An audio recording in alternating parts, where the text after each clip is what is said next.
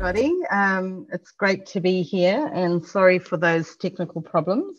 Uh, I'd like to start by acknowledging that I'm on unceded Bunurong country as an uninvited guest. And uh, I acknowledge all the Aboriginal and Indigenous people that are listening today. And uh, thank you, organisers, and thank you for everyone who works so hard in this space. And uh, this is when we find out whether my slides will work or not. Okay, so um, like I said, I'm an invited guest here uh, on this beautiful ancestral land and want to pay my respects to elders past, present, and uh, all First Nations people listening. Uh, my background, as Tasneem said, I'm a nurse, and um, what I'm planning to do today is tell you about a small, teeny weeny project, and just also want to acknowledge uh, Toby's amazing work, um, which he just presented. And I think what was really important about what you said, Toby, um, was the issue of low levels of trust, uh, low levels of health and system literacy. Are things that perhaps um, will have resonances in this presentation as well. So thank you for setting the scene.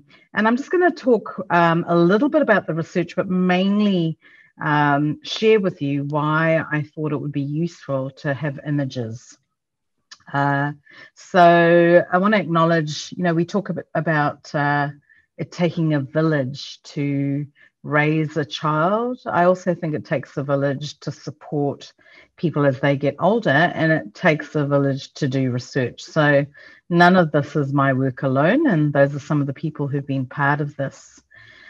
Uh, and I particularly want to acknowledge Safdar Ahmed, who's an amazing artist, and he's just published a graphic novel about uh, people in detention. So um, you will know mostly this most of this, people who are listening and watching. So I'm not going to talk for too long about about this, and you'll be hearing about it all afternoon. Um, the largest proportion of migrants are found in Western Australia, followed by New South Wales and Victoria. And we know that older migrants uh, are likely to settle in urban areas. So, why research about social isolation? We know that um, as people get older, that uh, opportunities to engage might be reduced. And then, in the context of COVID 19, um, instructions to physically distance have kind of um, added to that challenge of trying to uh, catch up with people. And uh, as Tasneem pointed out in her introduction, there are also inequalities to accessing and using technology. So, what that does mean is that quite often there's increased risk of um, different kinds of problems, uh, whether they're cardiovascular, etc., you know, heart, your immune system, mental health, you know, getting depressed and so on. So, we also know that um, older people from culturally and linguistically diverse backgrounds might also uh, have less disposable income and face barriers in accessing services. So, what we did was we wanted to find out about social isolation and loneliness. And the thing that's interesting about those two terms is that loneliness is that feeling that you might experience yourself. Um, so, it's subjective. And social isolation is a measure that researchers often make. So you might be living with a lot of people, but whether you feel connected and supported and listened to, uh, so, you know, is really important because um, sometimes we assume that people who live alone are not lonely and that people live with others um, aren't lonely. So you know, I think it's important to, to challenge those things. So we wanted to find out about how they use health systems and technology to connect and what might actually help this group to access services. And as Toby was saying, uh, particularly if they might not really trust services. So what we did, and I'm going to skip through this because I started late and I don't want to mess up the whole afternoon for everybody. Um, but what we did was we recruited through organizations like uh, Brimbank City Council, Victorian Multicultural Commission, and our networks. And we talked to 10 people from Brazil, Egypt, Greece, Hong Kong, Italy, Malta, and Sri Lanka, and all but one lived in Melbourne. And what we found is that people lost a lot of their usual ways of communicating and engaging. And even though some people got daily phone calls or their families phoned them, they really struggled and their digital literacies varied. Many people were very dependent on their phones and very reluctant to engage in video conferencing. And for some of them, it was devastating to miss significant family events. So, one of my participants that I spoke to, she lost her brother and she said, How can I grieve for my brother who I've known for 79 years? How can I grieve in a short funeral with hardly anybody, with no one at home but my partner and I, my husband and I? So it was quite quite difficult for people. Um, so this is the beautiful art that um, Safdar did. And um, our conclusion was that we need to actually understand more about how people use technology and particularly having community oriented activities that can promote meaningful online connection. So it was very interesting and challenging trying to do research without actually being with people.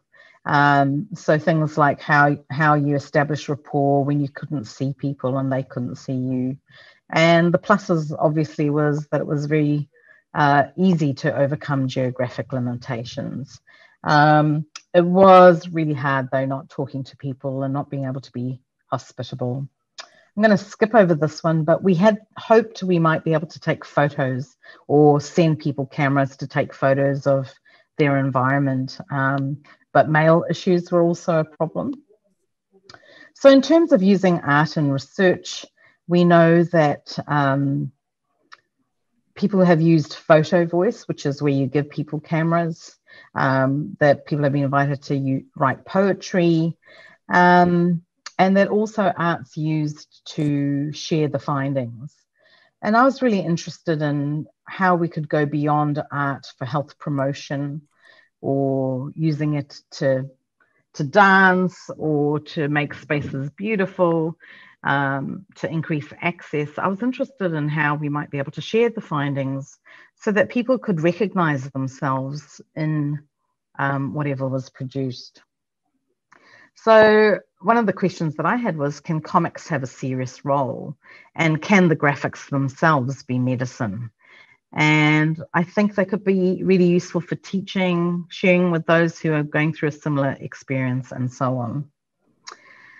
So, again, I'm conscious of time, so I, am not going to go through all of these, but I'm really interested in how we might share research in ways that are accessible, appealing, uh, and as you can see, I've got very dense text there, but I think what images do is they take us away from the text, which is really nice, and capture a feeling. Uh, you know, we can engage empathically, and I think that's really exciting. And so what we did to do this was um, we pre prepared little summaries of every participant and then we converted these stories into visual components.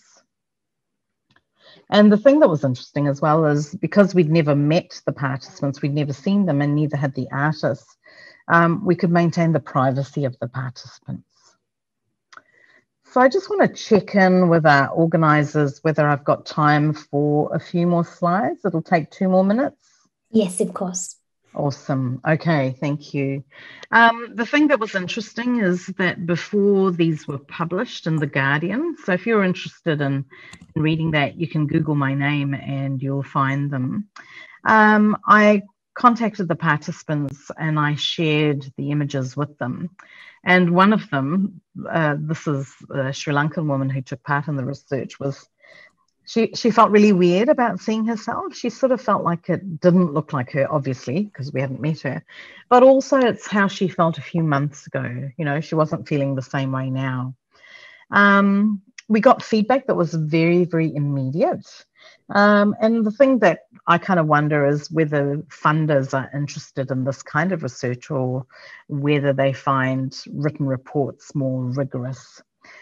Um, I just want to share with you a little bit of feedback before I finish and um, got some, a lot of really unsolicited feedback, which was very exciting. Um, and of course, I put in the first part of the, the quote so that I could look good there. Um, but um, I was so excited that this work was going to be shared with um, aged care students at a university. Um, and then I got contacted by a nurse who worked in surgery, and I'll let you read that if you're a speed reader. But um, she was very, very upset because her uh, nephew, who was an only son, was lost in a motor vehicle accident in Melbourne. And basically, all the goodbyes were by Zoom. And she could really relate to one of the stories that I mentioned earlier, where the woman couldn't be there for the funeral. So, this um, very sad story was the nurse who worked in theatre planted 200 trees in his memory. Um, but you know how how sad not to be able to grieve um, with other people. Um, other people, educators said to me that it was a wonderful, light-hearted way of sharing research, uh, and especially some of the sad messages. But even though it's sad, there was an aliveness about them, as you can you can see here. Um, other people said to me that the voices of the participants could be clearly heard and felt and that they learned a lot, even though it wasn't their area of expertise. So, to conclude, I think that um, providing doing research in a virtual qualitative way, way uh, provided me and the team with a unique kind of opportunity to try and do research in a, an interesting way. And I think that so often research is disseminated in very conventional formats, and those formats can exclude people and their loved ones. So I was really excited about making something that people could um, recognize and enjoy. And um, one of the women, I, I talked to her son, and she said that although the woman didn't like it herself because she felt embarrassed, um, that the grandchildren really loved it and they saw it as a really nice way to kind of capture a moment from uh, from COVID times um, that was very precious to the family. So thank you everybody. I hope you've gotten something useful about that presentation. I'm sorry for the technical hiccups and uh, just really want to acknowledge all the hard work that all of you do for your communities and uh, enjoy the rest of the afternoon. Thank you.